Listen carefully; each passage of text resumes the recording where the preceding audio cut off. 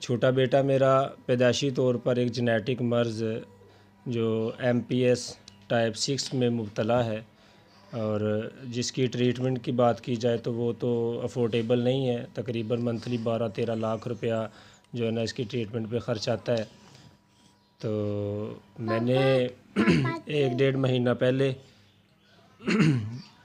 वज़ी अला साहबा को एप्लीकेशन लिखी थी।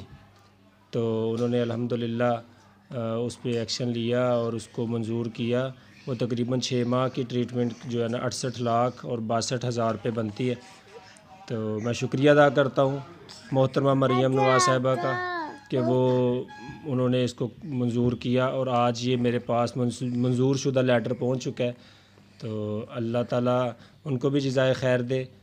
चूँकि वो ख़ुद माँ हैं और माँ ही बच्चे के दर्द को भी समझ सकती हैं। तो उन्हें पता है कि किसी का बच्चा, बच्ची बीमार हो तो वो किस तकलीफ़ में मुबतला होते हैं। तो बड़ा शुक्रिया जी उनका, अल्लाह उनको और उनकी पूरी टीम को जजाय खैर दे। और हमारे जो एम पी ए साहब, मियाँ ज़ीशान रफ़ीक साहब हैं, जो ख़ुद चल के मुझे पहुँचाने आए, अल्लाह उनको भी जो है ना जजाय खैर अता फरमाए।